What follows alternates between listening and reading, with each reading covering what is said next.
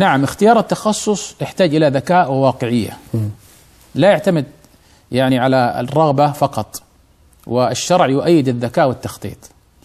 معايير آه، اختيار التخصص تكلم عنها علماء التربية كثيرا. أول معيار آه، القدرات أن تعرف قدراتك. وهذا مبدأ شرعي أن تعرف حدود قدراتك.